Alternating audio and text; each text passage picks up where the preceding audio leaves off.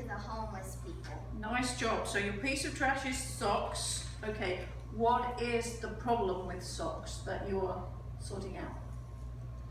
The problem with socks is that they're not being reused the right way. So we're finding a way that we can like sort of recycle socks into scarves. Right.